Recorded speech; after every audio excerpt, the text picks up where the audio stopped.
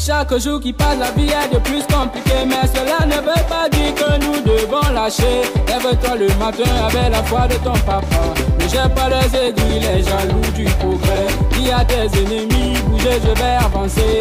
Tu verras alors que toutes les portes s'ouvriront. Ça, c'est la récompense de la persévérance. Parce que un enfant de Dieu ne laisse pas les bras. Aïe, aïe, aïe, aïe. Un enfant de Dieu.